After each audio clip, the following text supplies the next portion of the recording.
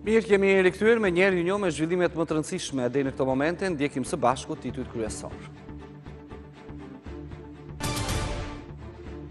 Policia mësyn në shtëpinë e ish-deputetit të Partisë Socialiste Rrahman Rraja në kërkim të djalit të tij Rexhep dhe vëllait Flamur Rraja për dhunën barbare të fisit Maja që u ankuan për guroren e Rrajave. Ministri Balla më herët e vuri kusht arrestimin e këtyre personave për drejtorët Rrumbullaku dhe Vocaj.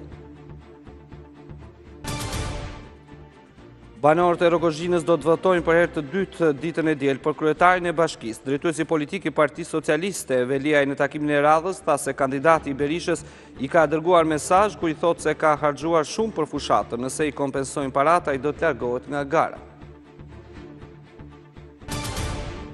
Urgjenca e sëmundjeve të brendshme në QSUT po përballet me një fluks në rritje të pacientëve që kërkojnë ndihmë mjekësore. Temperaturat përvëluese të ditëve të fundit kanë dërguar drejt urgjencës nga 280 deri në 300 pacientë çdo ditë.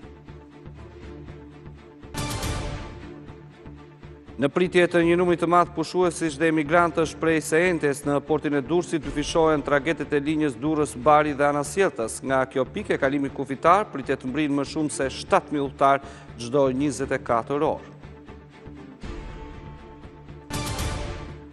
Tirana nesër do të elektrizohet nga ritmet latine të Ricky Martin. Sheshi Skënderbej është gati të presë më shumë se 10.000 spektatorë. Ylli i muzikës latine u thotë fansave përmes rrjeteve sociale të bëhen gati, pasi nata do të jetë fantastike.